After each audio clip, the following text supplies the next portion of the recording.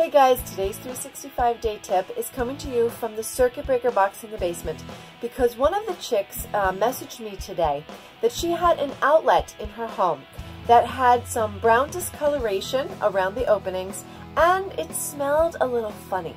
So I wrote back and said, absolutely, unplug whatever is in there and go to the breaker and find the circuit breaker that operates that outlet. Folks, I had an outlet in the wall a number of years ago that had started to melt because there was an electrical issue.